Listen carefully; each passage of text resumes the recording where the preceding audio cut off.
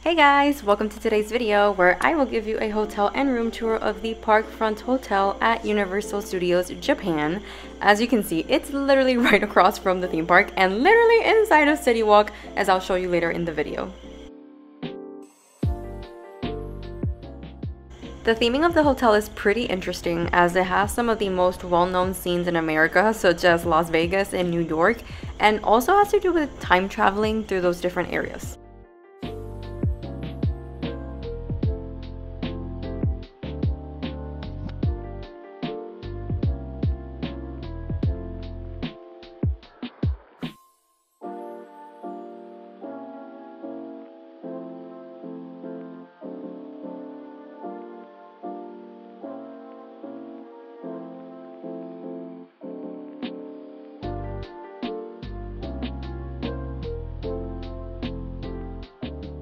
The lobby honestly transported me to New York, so the theming was very well done.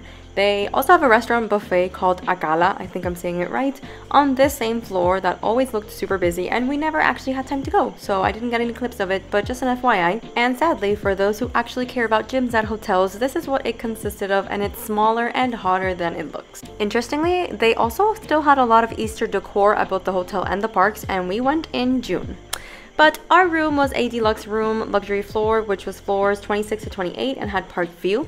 The theme was 21st century American future, and as soon as you come in to the left, you'll find the room with the amazing bidet Toto toilet.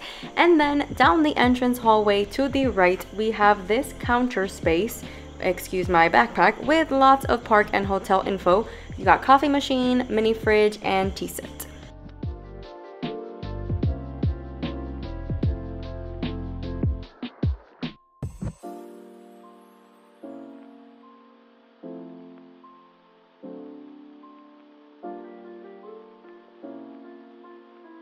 The bedroom area is super spacious. We got a TV, air purifier, this sofa, and as you will see, two beds. And to be completely honest, I think these have been the two firmest beds I've ever slept on that when I sat down, I literally like rebounded and I was so tired, I passed out, so it wasn't a problem, but I just want to let you know. And as you can see, the bathroom sinks and the closet are right next to the bed with minimum division, unless you want to pull down these curtains.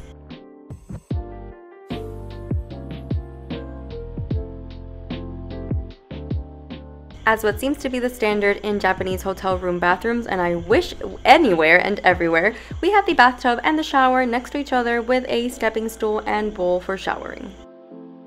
You also get a laundry bag and basket and they do have laundry facilities on certain floors which is awesome. And you also get plenty of toiletries to play around with including some skincare, bath salts, cotton sets, relaxing pads for your feet, hairbrushes, and a pajama.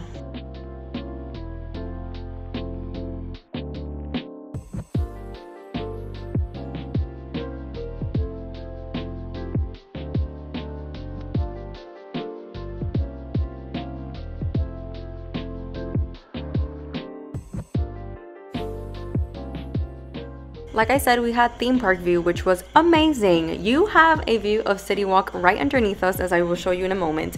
You also have the city of Osaka to the front, and then to the left, you have Universal Studios Japan, which you get early entry to, and people start lining up insanely early for.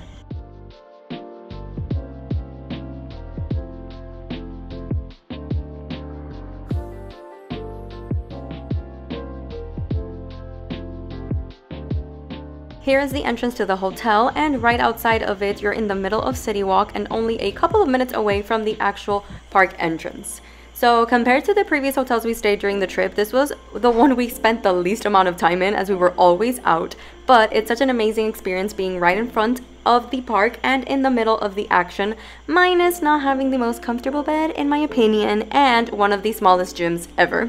But other than that, it was such a cool experience because of its proximity to everything. And that's it for today's video. Thank you so much for joining me today. The next video will be our Universal Studios Japan vlog, so stay tuned and I'll see you in the next one. Bye!